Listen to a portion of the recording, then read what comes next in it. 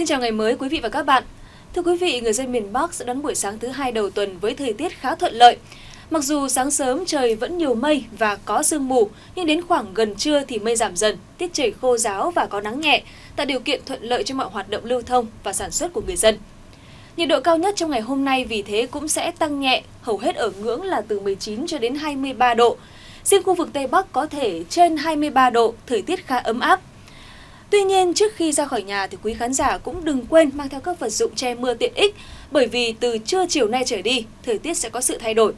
Ở các tầng khí quyển trên cao xuất hiện một vùng hội tụ gió di chuyển từ phía Tây sang và dự báo khoảng chiều vào tối nay, vùng hội tụ gió này sẽ gây mưa rông cho các tỉnh thuộc khu vực phía Tây Bắc Bộ. Sau đó đến đêm, mưa sẽ lan sang phía đông và mở rộng ra toàn vùng. Sang ngày mai mùng 8 tháng 1, ở dưới tầng thấp cũng có sự tăng cường trở lại của khối không khí lạnh.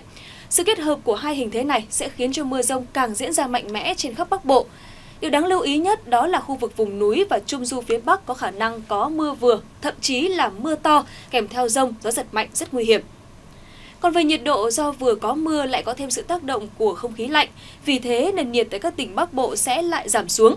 Đêm nay nhiệt độ giảm nhẹ xuống mức là 16 đến 18 độ, sau đó còn tiếp tục giảm thêm trong những ngày tiếp theo. Đến khoảng ngày 9 tháng 1, nhiệt độ về đêm giảm xuống mức là từ 12 đến 14 độ. Riêng vùng núi nhiệt độ thấp hơn chỉ dưới 11 độ. Vì thế, khu vực vùng núi và Trung Du lại xảy ra rét đậm diện rộng. Xuống đến miền Trung, ngày hôm nay mưa giảm hẳn tại khu vực này, chỉ còn xảy ra ở khu vực Trung Trung Bộ với lượng nhỏ.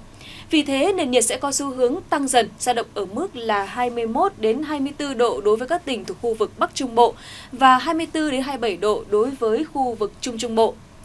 Trong khi đó, thì khu vực Nam Trung Bộ, phần từ Bình Định trở vào cho tới Bình Thuận, thời tiết phổ biến ít mưa, ngày trời có nắng, nhiệt độ ít thay đổi, phổ biến trong khoảng là 27 cho đến 31 độ.